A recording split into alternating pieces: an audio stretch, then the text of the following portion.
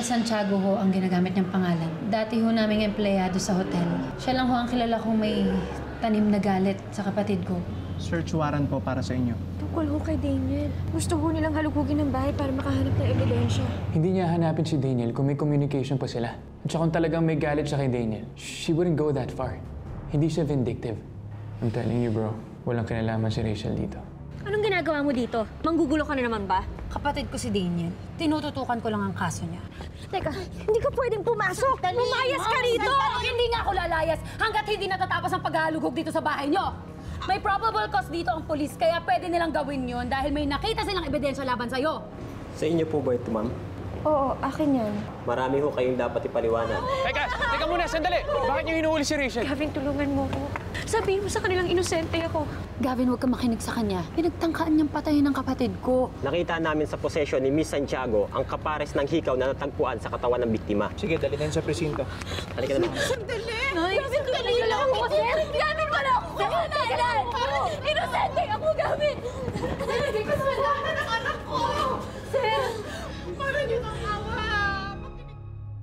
Okay, Belle, look at Tita Mela. Hands on your waist, chin up, and then you have to walk confidently, okay?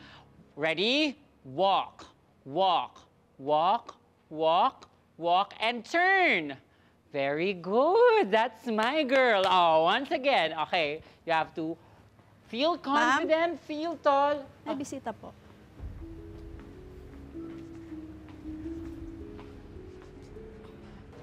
Alison. Ha? Anong, anong ginagawa mo dito? Wala dito si Venus eh. Sino po kayo? Hi. Ako ang tita Allison mo.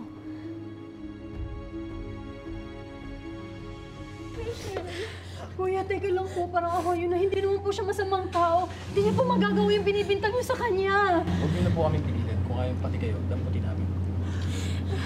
Nay, huwag na ho kayong lumapit. Ayoko ho madamay pa ho kayo. Gagawa ako ng paraan, anak. ha? Makipag-usap ko sa mga abogado. Hihingi ako ng tulong, anak. Lilinisin natin yung pangalan mo, tapos hindi ako titigil at hanggat hindi ka nakakalaya. Salamat po. Na po bahala kay Kyle. Anak.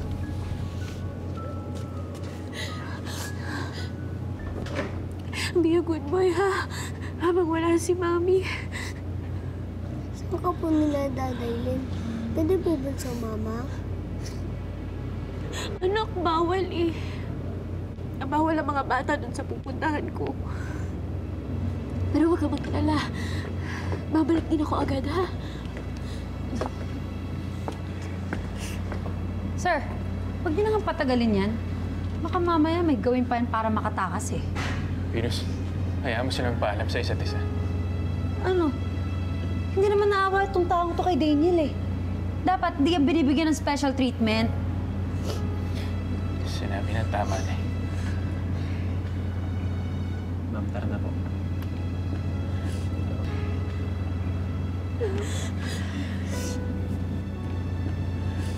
Ma'am, tara na po.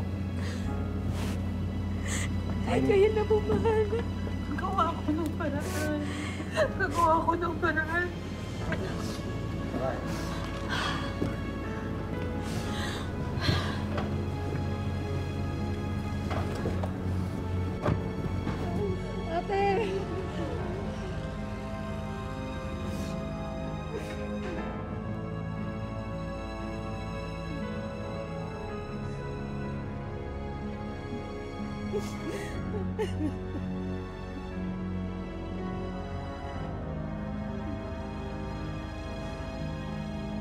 Nay,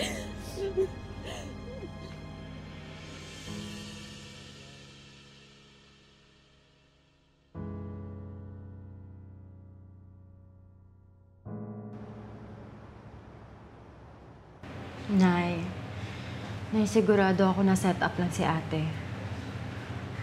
Alam naman natin na noon pa, may galit na yung bruhang Venus na yun kay ate. Kaya siya ang itinuro.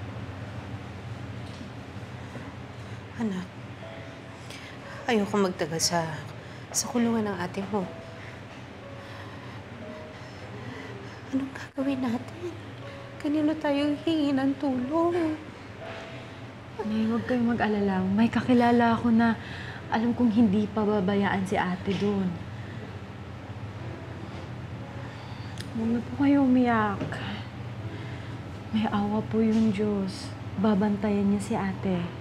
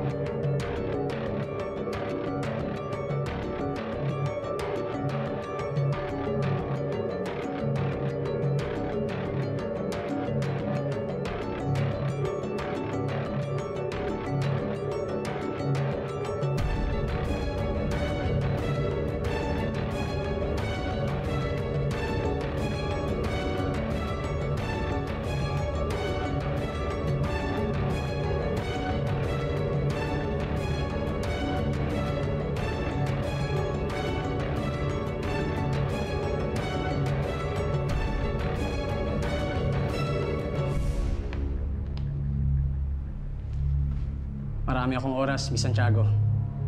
Uulitin ko. Sinabi ng biktima sa email niya na hinaharas mo siya at ang kapatid niya si Venus.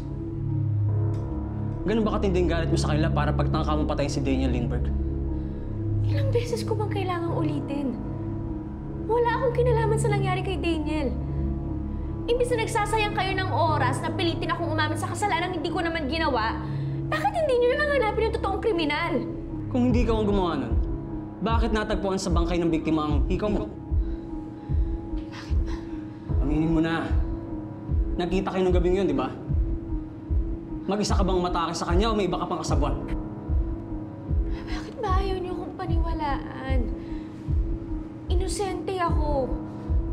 Gusto ko na lang umuwi sa pamilya ko, sa anak ko. Miss Santiago, sobrang gasgas na ng istorya mo. Pwede ba magkwento ka naman sa akin ng kapanipaniwala? Rachel. Why have you started questioning her without her lawyer? Rachel. Hindi mo kailangan sagutin yung mga tanong niya. Ito si Attorney Gonzales. Tutulungan ka niya. I want a private time with my client.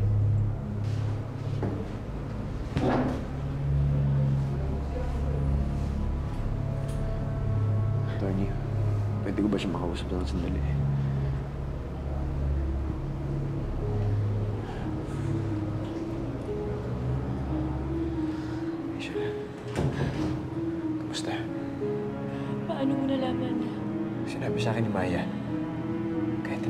Ko kaagad yung kaibigan ko sa Pao. Okay ka lang? David, ayoko na dito. Alam ng Diyos na wala akong kasalanan. Ayoko na dito. Palabasin mo ako dito, David. Tulungan ka namin. Hindi okay ka ng lahat. Kapit ka naman.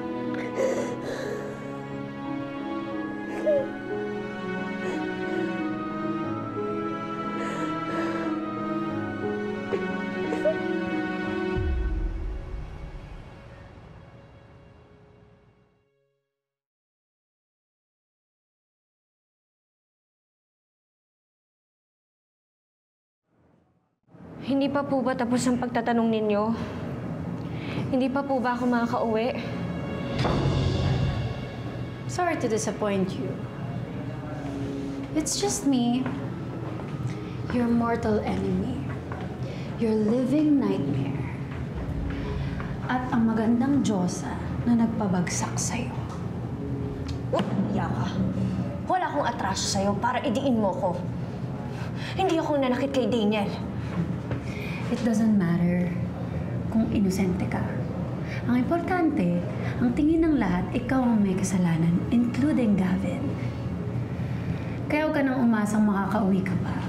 Dahil sisiguraduhin ko na itong kulungan na to ang magiging permanent address mo. Hayop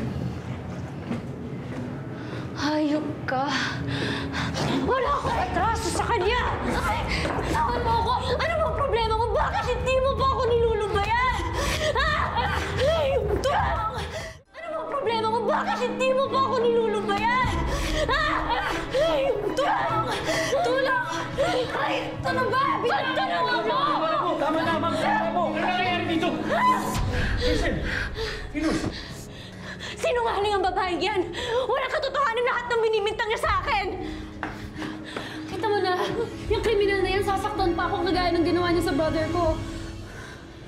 Sana kasi hindi ka na lumapit. Alam mo naman na pag nagtitikit kayo, wala iba nangyayari kundi gulo. Gavin, ako ang biktima dito at kaya kong patunayan na wala akong kasalanan. Halika na, Venus, umalis na tayo.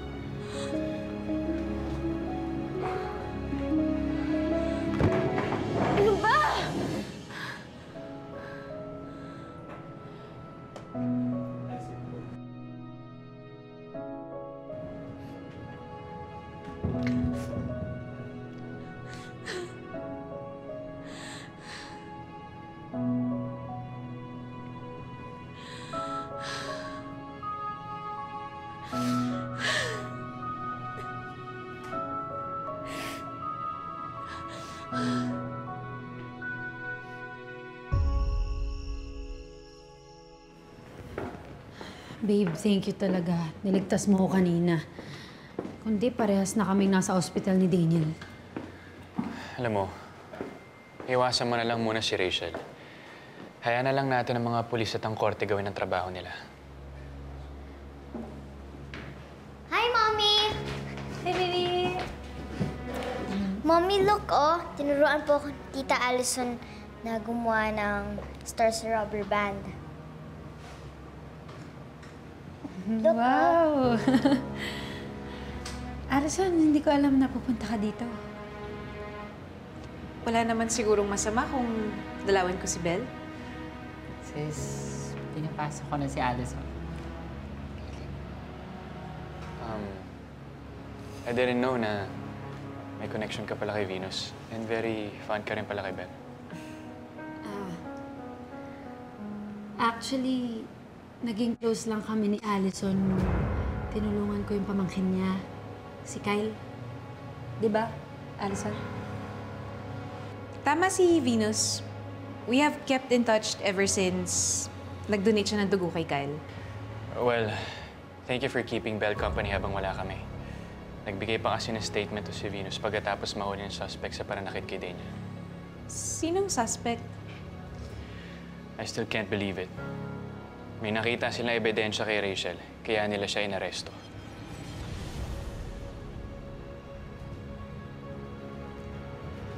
Uh, Venus, pwede ba tayo mag-usap? Excuse us?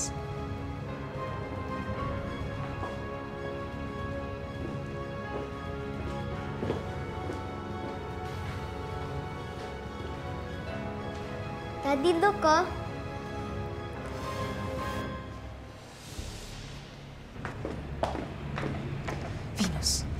Kabalbalan na naman tong ginawa niyo?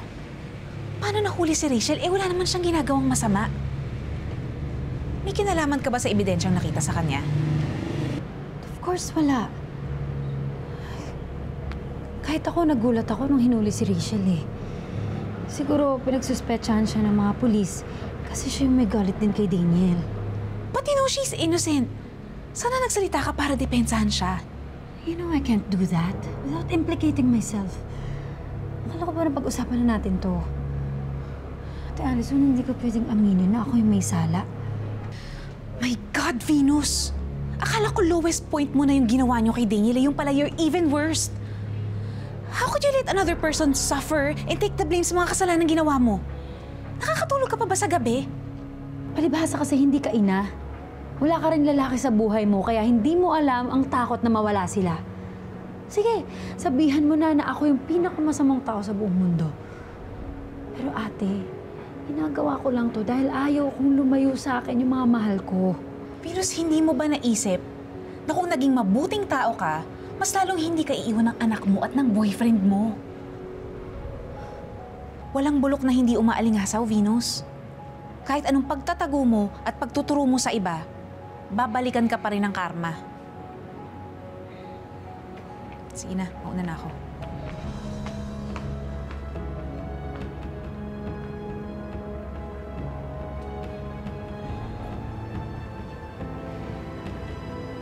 Venus? Is everything all right?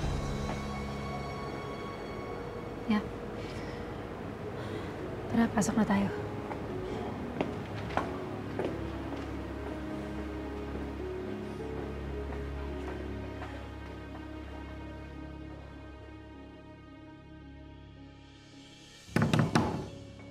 Ano ba?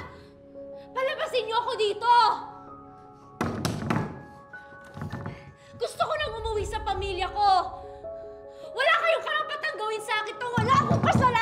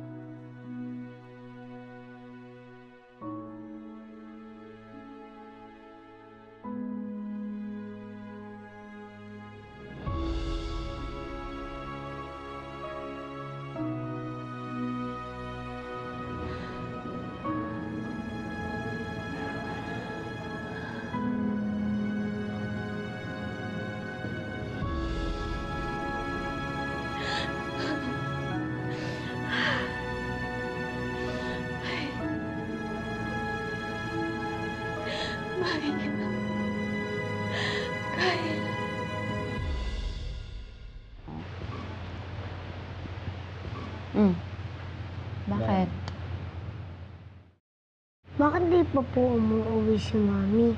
Gano'ng katagal po siya dun sa pinuntahan niya? Ah, may nasikaso lang yung mami mo doon.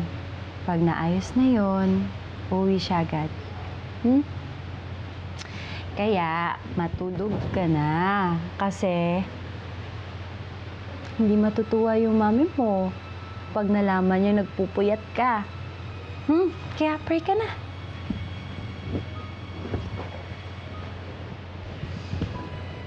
Then Father, the Son, the Holy Spirit. Amen. Antayin niyo po palagi si Mami. Sana po wala na po mga away sa kanya. Lord, protektahan niyo po ang pamilya ko habang malayo ho ako. At ibigay niyo po sa kanya yung good night kiss ko sa kayong embrace ko. Thank you po. In the Father, the Son, the Holy Spirit. Amen. Very good. Good night hug kay tita. Mm. Sana malinis ko na po agad yung pangalan ko. Sana managot na ho yung totoong may kasalanan. Para makalaya na po ako.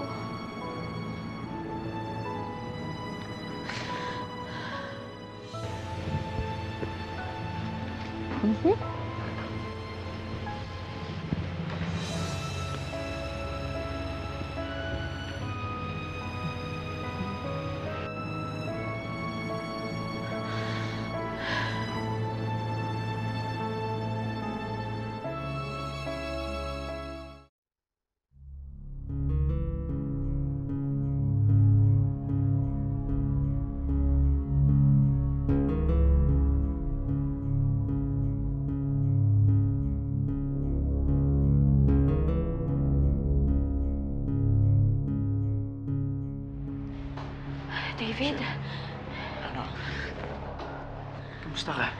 Nakakatulog ka naman. Gusto ko nang makalabas dito. Attorney, hindi pa po ba ako makakauwi? Hindi pa, Rachel. Dadaan ka sa isang inquest proceeding. Inquest? Ano yun? Isinasagawa yun ng isang civilian prosecutor. Sinisure kung legal o hindi ba ang pag-aresto sa'yo. Ibig sabihin nun, Rachel, ang piskal ang magdidesisyon kung sasampahan ka pa ng kaso makakalaya ka. Attorney, hindi ako dapat sampahan. Na-set up lang ako. Kasama ko yung pamilya ko nung gabing may umatake kay Daniel. Kaya hindi totoo ang mga ebidensyang ginagamit nila sa akin. Attorney, totoo yung sinasabi ni Rachel. Pwede akong tumistigo. Nandun ako sa bahay niya nung gabing nangyari yun. Nag- Naghahaponan tayo, di ba? That can be a perfect alibi. Pero kailangan natin ng ebidensya para patunayan na nandun ka talaga ng gabing yun na mangyari ang krimen.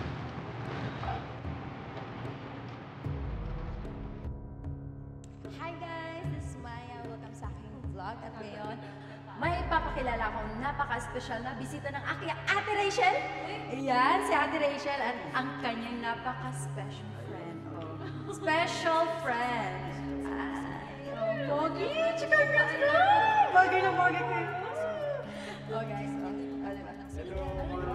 Tsaka, lalagay ko ng hearts yan dyan. Lalagay ko ng hearts. Sige, dyan. Ah, ah. Please naman dyan. Joke. Bye guys, see you guys. Yan.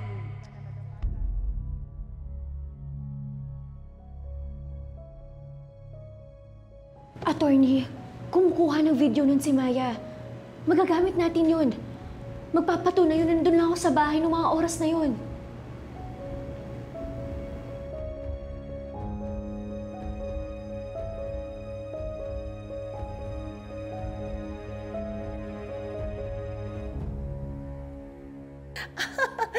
Oo nga eh.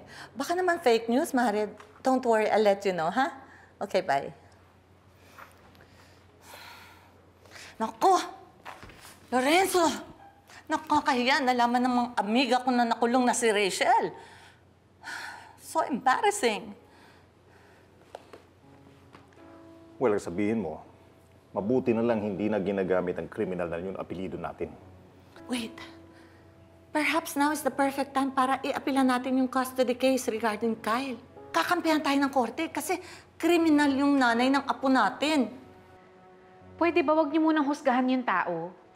Hindi pa nga napapatunayan kung may kasalanan nga siya eh. Tsaka nai-imagine niyo ba kung anong pinagdadaanan ngayon ni Kyle? Kung gano'n niya namimiss yung mami niya. Imbis kasi makisimpat siya kayo at tulungan si Rachel, kayo pa yung unang-unang may gustong makulong siya.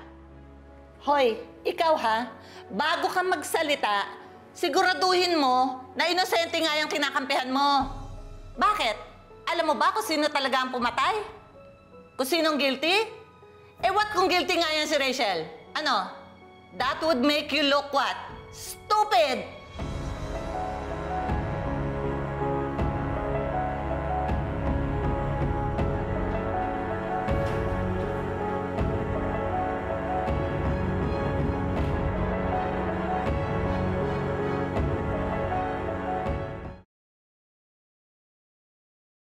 Hinihiling po namin na palayain sa lalo't madaling panahon ang respondent na si Ms. Rachel Santiago. Walang sapat na ebidensya ang kabilang panig para patunayang meron siyang kasalanan. Hindi din valid ang warrantless arrest ng mga ginawa ng pulisya sa aming kliyente. Mapapatunayan mo ba na hindi nga iyang kliyente mo ang nagtangkang pumatay kay Daniel Lindbergh? Opo. Nais po namin ngayon ipakita ang unang ebidensya.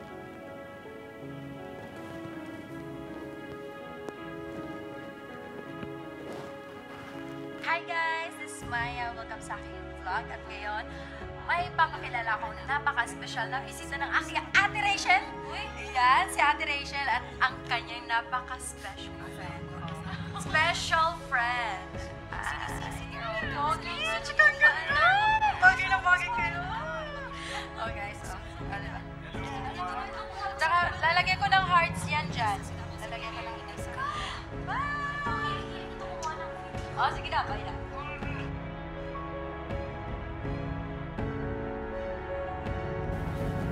Kuha ang video na yan sa tahanan ng mga Santiago.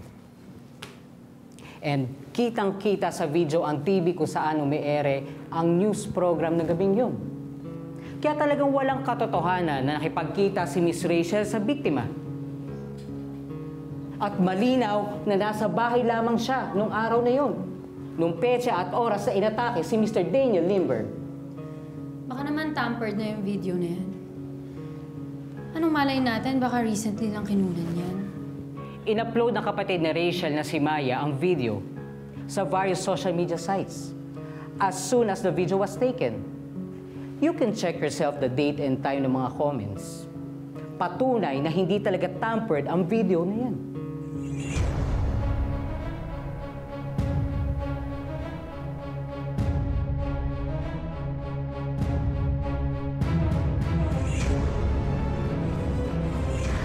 Alison, ba't pa po kayo nagpunta dito? Palagi niyo naman po akong pinupuntahan. May utang ako na six years sa'yo, Bel. Utang po? Six years na lumaki ka na hindi ko man lang nasabi sa'yo na mahal na mahal ka ng tita Alison mo. Bakit po kayo umiiyak? Sino ba namang hindi mapapraning doon? Eh, pakulong mo ba naman yung babaeng yun ng walang kasalanan? Mahirap na, baka gantihan tayo nun, no? Good luck sa kanya. Dahil wala siyang mahanap na proof. Mapapagod lang siya. Yan yung primary evidence, kaya nasangkot si Rachel sa kaso. May way ba para malaman mo kung totoo yung email or gawa-gawa lang? Ang pwede kong gawin, i-trace ko yung location, kung saan ginawa at kung saan sinend yung email yun. Eh ano, ito yung address na kuha ko. Yan ba yun? Teka,